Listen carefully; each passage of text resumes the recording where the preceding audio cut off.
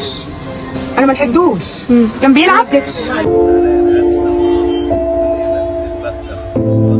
شهود العيان بيكتشفوا مفاجأة خطيرة جدا في وفاة ضاضة إسماعيل الليثي. اللي خبر وفاته عمل ضجة كبيرة جدا وأحزن كل أسرة إسماعيل الليثي. وجميع مواقع ومنصات وشبكات التواصل الاجتماعي. واحتل ضاضة إسماعيل الليثي كل محركات البحث منذ خبر وفاته. ورغم مرور أيام على وفاة ضاضة إسماعيل الليثي إلا ولسه وحتى الآن بيتم تداول صور وفيديوهات ضاضة إسماعيل الليثي. وبعض الفنانين من الوسط الفني وعلى رأسهم الفنانة فيفا عبد طبعا بعد خبر انتشار ضاضة إسماعيل الليثي بدأت الناس تشكك ما بين صحة الخبر أو من عدمه ولكن من بعد ما نعى المطرب الشعبي طارق الشيخ وحمو بيه كمطرب المهرجانات كتب وقتها ونعى إسماعيل الليثي والتويتة كانت بتقول آه وجعت قلبي يا رضا الله يرحمه. وبعد كده انتشر خبر وفاة رضا إسماعيل الليثي كالنار في الهشيم على كل مواقع التواصل الاجتماعي. وتم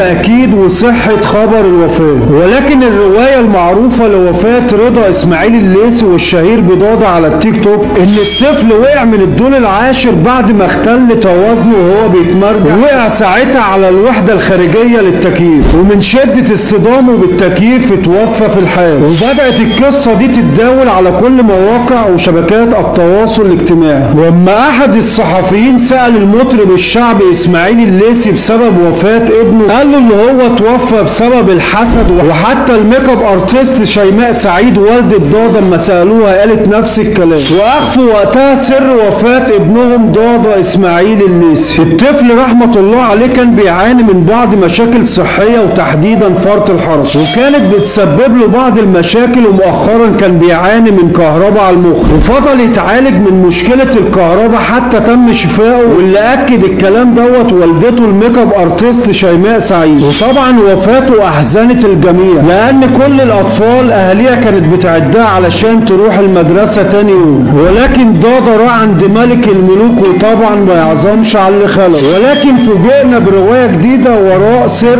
وفاة ضاضة إسماعيل الليثي. واللي كشف حقيقة وفاة ضاضة ابن إسماعيل الليثي. هم بعض الأهالي والجيران بامبابة مسقط رأس جدته. اللي أكدوا إن الولد حاول الخروج من باب الشقة. لأنه الباب كان مقفول وما كانش حد كبير من افراد اسرته معاه. وضاضة وقتها كان عايز ينزل الشارع فحط رجله على سور بلكونته ورجله التانية على سور بلكونة الجار وطبعا جسمه تقيل فاختل توازنه فوقع وسقط على الوحدة الخارجية للتكييف. وللأسف اتوفى في الحال. وبعد ما الجيران سمعوا صوت عالي جدا ارتطم بالأرض نزلوا يجروا زي المجانين. وجدوا الطفل رضا إسماعيل الليثي نايم على الأرض وبيجيب دم من كل حتة. فاتصلوا بعربية الإسعاف وجت في الحال ولكن قبل ما رضا يحطوه في العربية علشان ينقلوه بسرعة للمستشفى ويلحقوه كان للأسف فارق الحياة. وهي دي القصة الحقيقية لوفاة ضاضة إسماعيل الليثي. وإسماعيل الليثي نشر صورة لابنه على حسابه الرسمي والشخصي فيسبوك وودع نجله وقال ابني وابن عمري في ذمة الله. وبعدها أعلن نجم المهرجانات حمو بيكا بوفاة ضاضة إسماعيل الليثي وقال البقاء لله. طارق الشيخ وبعض الفنانين من كل الوسط الفني. وطبعا ضاضة كان بيتمتع بخفة دم على منصة تيك توك وكل منصات التواصل الاجتماعي. ولكن ربنا سبحانه وتعالى خد أمانته وما يعظمش على اللي خلقه. ربنا يرحم ضاضة إسماعيل الليثي ويصبر والده ووالدته